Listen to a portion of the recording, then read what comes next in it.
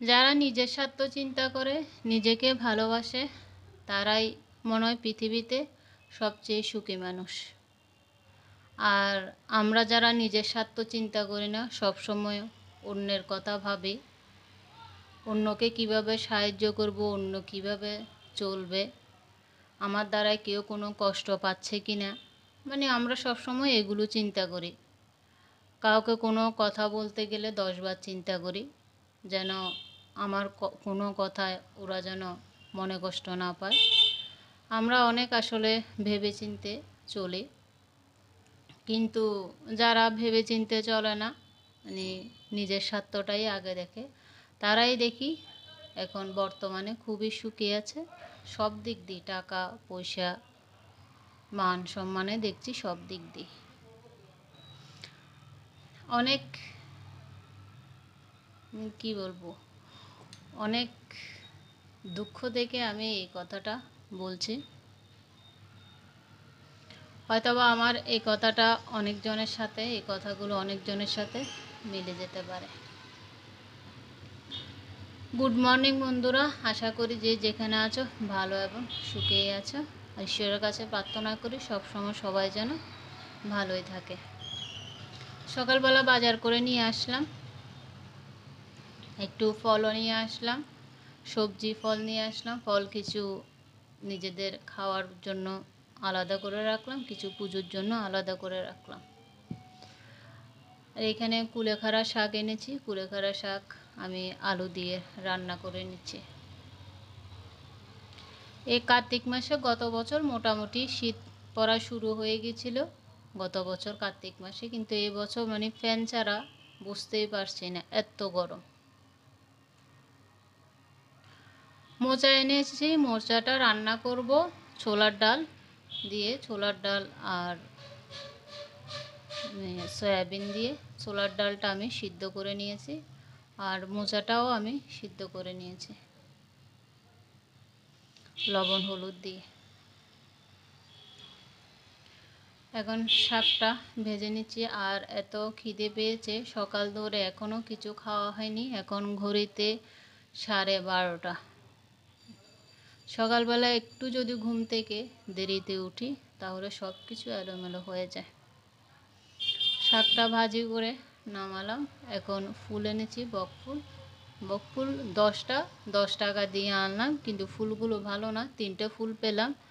আর ফুলগুলোর মধ্যে এত পোক ছিল, এই তিনটে ফুলের মধ্যে কোনো পোকাই ছিল না। আর ফুলগুলোর মধ্যে এত পোকা ছিল যে সেগুলো আর আমি নিলাম না।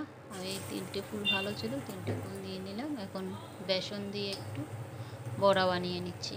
অনেক বছর পরে এই বকফুল পেলাম। বকফুলের বড়াটা আজকে খাব। প্রায় অনেক বছর পর। বাবার বাড়িতে থাকতে প্রায় ছয় সাত বছর আগে খেয়েছিলাম। এর মধ্যে আর খাওয়া হয়নি। ছয় সাত বছর আগে না, দুই হাজার আট নয়ের দিয়ে খাওয়া হয়েছে, এরপর আর খাওয়াই হয়নি। এত ভালো লাগে এটা, যদি ঘিয়ে ভেজে খাওয়া হয়, কিন্তু আমি তো ঘিয়ে দিইনি। একটু তেল মশলা কম খেতে চাচ্ছি। আজকে এই বড়াটা যে খাচ্ছি, এটাই আমার অনেক ক্ষতি হয়ে যাবে শরীরের জন্য। তাও অনেক দিন পরে পেলাম, একটু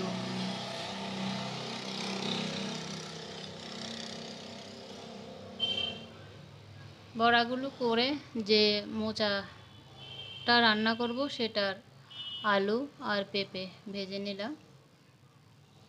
আর এখন আমি ভাতটা খেয়ে নিব। এত খিদে লেগেছে, মোচাটা ভাত খাওয়ার পরে রান্না করব। মোচাটা আমাদের দুজনের জন্যই, রাত্রে আমার দাদা আসবে, ওর জন্য সই এখন রান্না করে রাখব। আগে খেয়ে দিয়ে নিই, এখানে একটা শশা আমি কেটে নিচ্ছি।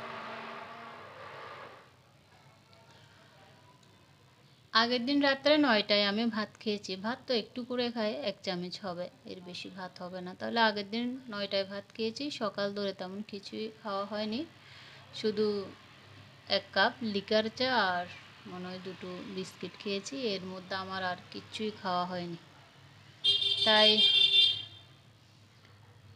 এখন চিন্তা করলাম মোচাটা পরে রান্না করব, একটু সিদ্ধ টিদ্ধ দিয়ে ভাতটা খেয়ে নিই কারণ মোচা রানতে একটু সময় লাগে।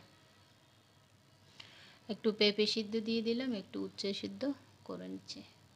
উচ্ছে উচ্ছে সিদ্ধ, পেঁপে সিদ্ধ করে নিয়ে আমি ভর্তাটা করে নেব।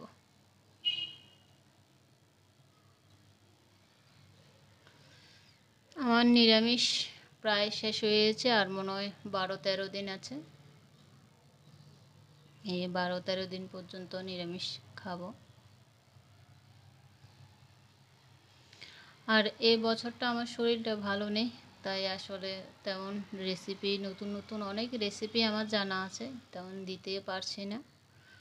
এখন না দিতে না দিতে যেহেতু ভিডিওর রিচ অনেক কমে গিয়েছে, তাই ভাবলাম যাই করি, একটু করে ভিডিও করে ছেড়ে দিই।